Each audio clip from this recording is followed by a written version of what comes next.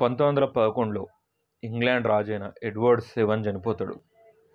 Edward seven చనిపోగానే అదే సంవత్సరం పంతొమ్మిది వందల పదకొండులో జార్జ్ ఫిఫ్త్ ఇంగ్లాండ్కు కొత్త రాజు అవుతాడు జార్జ్ ఫిఫ్త్ ఏం ఆలోచిస్తాడంటే అతను తన భార్యతోటి ఒకసారి ఇండియాకు పోయేద్దాం అనుకుంటాడు.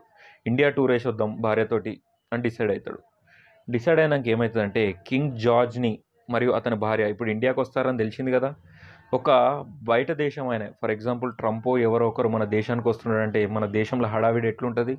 సేమ్ అప్పట్లో కూడా కింగ్ జార్జ్ మరియు అతని భార్య ఇండియాకు వస్తున్నారంటే వాళ్ళను స్వాగతిస్తూ ఢిల్లీలో ఒక పెద్ద దర్బార్లో విందుని ఏర్పాటు చేస్తుంది భారతదేశంలోని బ్రిటిష్ ప్రభుత్వం. ఈ విందులో చాలామంది రాజులు ప్రముఖులు పెద్ద పెద్దోళ్ళు అందరూ హాజరవుతారు.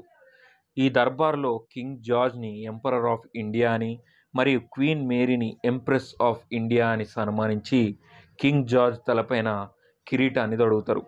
ఈ కిరీటాన్ని ఇంపీరియల్ క్రౌన్ ఆఫ్ ఇండియా అని అంటారు. ఈ దర్బార్లో కింగ్ జార్జ్ రెండు కీలకమైన ప్రకటనలు చేస్తాడు. ఈ రెండు కీలకమైన ప్రకటనలే మనకు చాలా ఇంపార్టెంట్.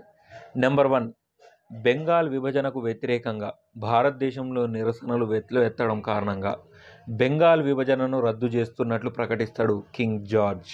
అంతేకాకుండా రెండో ప్రకటన ఏమని చేస్తారంటే భారతదేశ రాజధానిని కలకత్తా నుండి ఢిల్లీకి షిఫ్ట్ చేస్తున్నట్లు ప్రకటిస్తాడు.